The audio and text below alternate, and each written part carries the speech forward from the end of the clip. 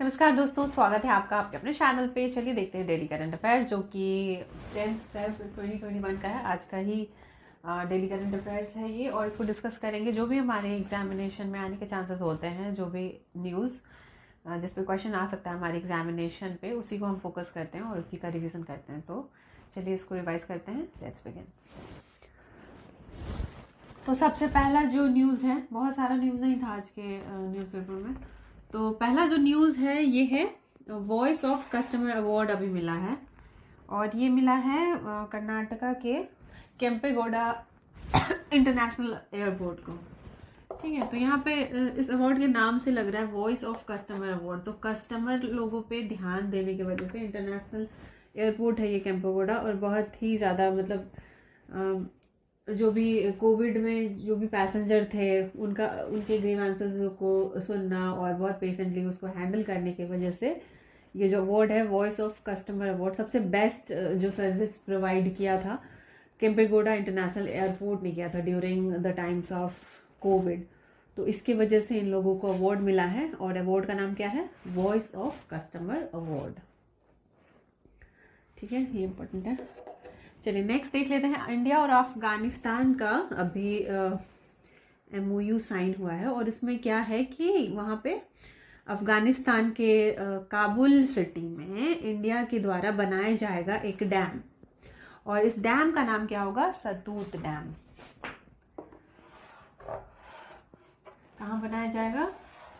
काबुल में। Kabul is capital city of Afghanistan ठीक है? तो इंडिया के द्वारा बनाया जाएगा सतूत डैम कहाँ पे? काबुल में। ठीक है? तो ये इंडो अफ़गानिस्तान वाले क्वेश्चन का भी ये इम्पोर्टेंट पार्ट है। मतलब एक पॉइंट आप वहाँ पे डाल सकते हैं एज अ फॉर्डर अगर मेन्स में क्वेश्चन आता है तो इंडो अफ़गानिस्तान के ऊपर तो ये रीसेंट न्यूज़ है। चलिए नेक्स्ट देख लेते हैं। नेक्स्ट uh, न्यूज़ है। न्यूजीलैंड के न्यूजीलैंड uh, ने अपने जो टाइज थे म्यांमार के साथ उसको सस्पेंड कर दिया है।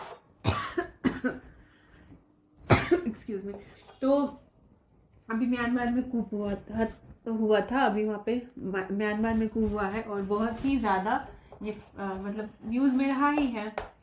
मिलिट्री ने वहाँ के जो डेमोक्रेटिकली वहाँ पे पार्टी लोग कर रहे थे रूल कर रहे थे उसको सीज कर लिया पावर सीज कर लिया। तो उसके वजह से क्या हुआ है कि इनका जो टाइज था न्यूजीलैंड के वजह न्यूजीलैंड के साथ, उसको भी सस्पेंड कर दिया गया है। ठीक है? ये जो कू हुआ है, उसके वजह से। तो ऐसे क्वेश्चन आ सकता है। Recently which country suspended its ties with Myanmar ठीक है? तो इसमें आ जाएगा न्यूजीलैंड।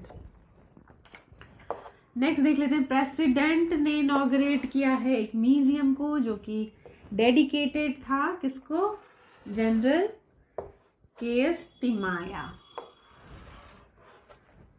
ठीक है तो ये म्यूज़ियम कहाँ बना है? ये म्यूज़ियम बना है कर्नाटक में। ठीक है। तो हम्म तो आपको ये अब बताना है, आज के क्वेश्चन में आपको ये बताना है कि जनरल केस का क्या कंट्रीब्यूशन था। कमेंट बॉक्स में आप लिख सकते हैं कि जनरल के एस माया का क्या कंट्रीब्यूशन था, ठीक है? नेक्स्ट है death anniversary of Baba Amte. तो ये नाइन्थ फेब को मनाया जाता है और इनका नाम क्या है? इनका नाम है मुरलीधर। बाबा आमटे तो इनका निक मतलब ऐसे टाइटल दिया गया इनको। इनका नाम है मुरलीधर। देवी दास और इनको बहुत सारा अवार्ड मिला है।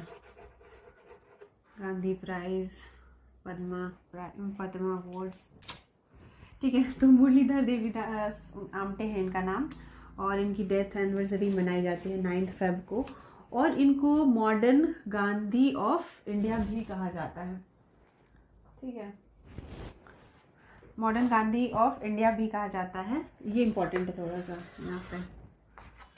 जैसे एस एस सी वाले क्वेश्चन में आ सकता है बी पी एस सी में भी आ सकता है। नहीं ज़्यादा चांसेस है कि एस एस सी में आएगा ऐसे क्वेश्चन um, कि who is who is known as modern Gandhi of India क्योंकि इनका भी रिसेंटली डेथ एनिवर्सरी मनाया गया है तो ये हो सकता है कि एग्जामिनेशन में आ जाए। ठीक है तो who is called modern Gandhi of India Baba Amte और मुरलीधर अ, देवीदास आमटे। ये हो जाएगा। ठीक है तो आपको यहाँ पे आज दो क्वेश्चन का आंसर करना है। एक तो आपको जनरल के एस तिवाया का कंट्रीब्यूशन बताना है, दूसरा आपको ये बताना है, जो दो तीन दिन पहले न्यूज़ में आया हुआ था, कि साइक्लोन मैन ऑफ़ इंडिया किसको कहा जाता है? ठीक है, कहाँ पे लिख दें हम? यहीं लिख देते हैं।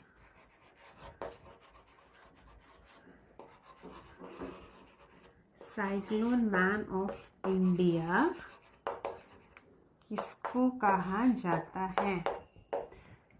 ये क्वेश्चन नंबर टू और क्वेश्चन नंबर वन है। जनरल कैसी माया का कंट्रीब्यूशन आपको बताना है, ठीक है? ज़्यादा इंपॉर्टेंट न्यूज़ सब था नहीं। अच्छा टेंथ फेब को डी वार्मिंग डे भी मनाया जाता है। नेशनल डी वार्मिंग डे भी मनाया जाता है हमारे कंट्री में।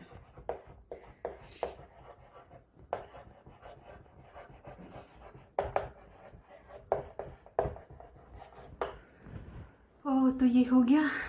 चलिए वीडियो को यहीं पे क्लोज करते हैं। अगर आपको इंपॉर्टेंट लग रहा है तो आप इसका स्क्रीनशॉट ले सकते हो रिवाइज कर सकते हैं। अदरवाइज़ आपको अगर पीडीएफ चाहिए तो हमारे टेलीग्राम चैनल पे जाके पीडीएफ कलेक्ट कर सकते हैं। चलिए वीडियो को यहीं पे क्लोज करते हैं। Thanks for watching